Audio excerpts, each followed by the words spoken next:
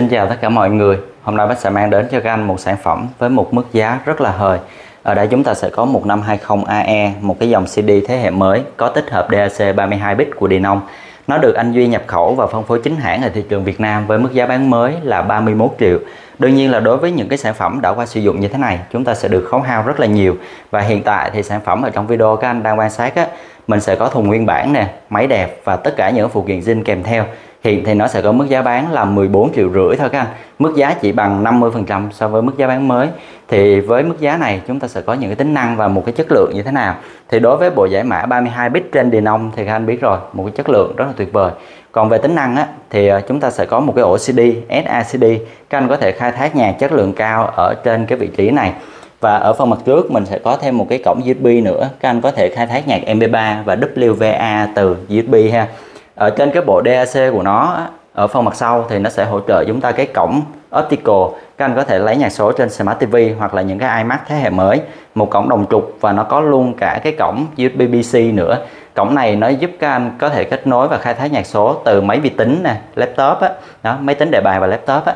Và nó rất là thuận tiện ha 4 năm trong một lận bây giờ thì bác sẽ quay kỹ để các anh xem xét, đánh giá tình trạng của sản phẩm và thử một vài cái tính năng trên cái 1520 AE này về phần thùng nguyên bản thì đương nhiên là chúng ta sẽ có số series trên thùng, trùng với số của máy luôn. Mình không lấy một cái thùng khác để bỏ vào ha. Và như các anh thấy thì người chủ cũ họ sử dụng và bảo quản một cách rất là tốt, cho nên thùng cũng còn khá là đẹp. Chi tiết này không quá quan trọng, nhưng nó sẽ có một chút yếu tố gì đó mang giá trị sưu tầm, nếu như mà các anh quan tâm. Và đương nhiên là cái phần mút chèn máy nguyên bản bên trong nó vẫn còn đầy đủ ha. Đó. Ở trong này thì mình sẽ có thêm dây nguồn và catalog bắt để bên trong. Phụ kiện quan trọng nhất đó là remote. Thì remote zin của dòng này á là RC1186 nó được làm bằng nhựa màu đen nha các anh. Và trên này thì chúng ta có thể sử dụng cho tất cả những cái mẫu âm ly hai kênh của Denon luôn. Thì mình có thể bật tắt nguồn, tăng giảm âm lượng và chuyển cổng tín hiệu đầu vào luôn nha các anh. Rất là thuận tiện. Hai trong một. Đây là phần thân máy chính. Và dòng à, này sử dụng điện 230 sử dụng cho các cái thị trường ví dụ như là châu Á, một vài nước châu Á và chủ yếu là châu Âu ha nó sẽ có cái phiên bản màu bạc và màu đen như các anh đang thấy. Còn cái dòng sản phẩm mà chạy một dòng điện 100V cho thị trường Nhật á, nó sẽ không có màu đen. Đó. Thì các anh có thể quan sát được cái gương mặt của con 1520AE lần này. Rất đẹp ha. Hầu như không có bất kỳ một tì vết nào trên gương mặt này cả. 10 trên 10 chúng ta sẽ thử tính năng của CD nha các anh. Trên này thì nó sẽ sử dụng hai cái à, phôi đĩa đó là CD và SACD như lúc nãy Bích chia sẻ cho nên là khi chúng ta cho đĩa vào, nó sẽ mất thời gian chờ lâu hơn so với những cái dòng CD thuần, khoảng 7 tới 10 giây ha, để nó phân loại cái chuẩn đĩa.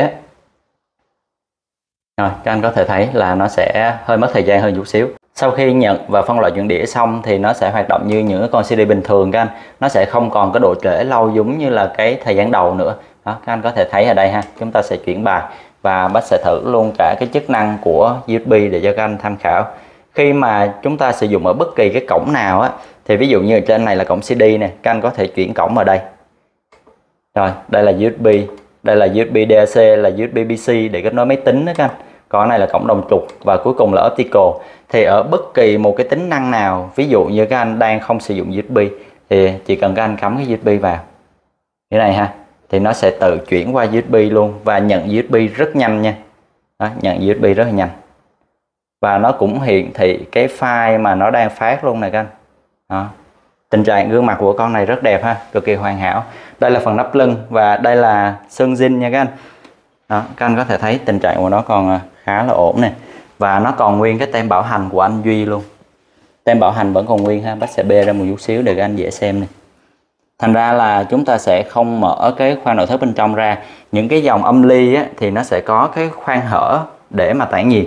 Còn đối với CD nó là một cái khoang nội thất kính, cho nên hoàn toàn nó không có bụi bặm lọt vào trong được. Thành ra là mình cũng không cần chú ý tới cái chi tiết đó lắm ha các đây là tem niêm tem niêm phong của anh Duy này. Bây giờ thì bác sẽ tắt máy và quay luôn cái phần mặt sau để các anh có thể đánh giá chi tiết về cái sản phẩm này.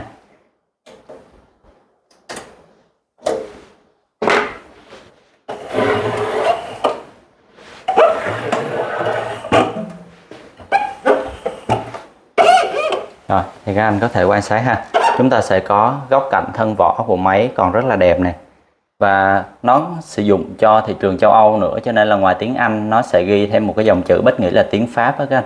Số series của máy là 00989 và sản phẩm này thì nó sử dụng điện 230V, công suất tiêu thụ điện của nó là 38W. Ở đây là những cái cổng kỹ thuật số in này các anh, có nghĩa là chúng ta lấy nhạc số vào đây, vào những cái cổng này. Còn ở đây là cổng kỹ thuật số out và đây là analog để chúng ta lấy tín hiệu từ cái DAC này vào dàn âm ly của mình. Tình trạng máy rất đẹp ha, trước sau trong ngoài. Rồi, sản phẩm này thì à, như lúc nãy Bích chia sẻ với các anh, hiện tại thì nó sẽ có mức giá bán là 14 triệu rưỡi, rẻ hơn 50% so với mức giá bán mới. Và đương nhiên là Bích sẽ, vẫn sẽ bảo hành cho các anh trong vòng 6 tháng để các anh có thể yên tâm sử dụng. Nếu các anh có thêm những cái thắc mắc hay là những cái vấn đề gì à, uh, phát sinh thì các anh vui lòng liên hệ trực tiếp dùm bách qua số điện thoại trên tiêu đề của video nha. Xin cảm ơn và hẹn gặp lại tất cả các anh trong cái video lần sau ạ.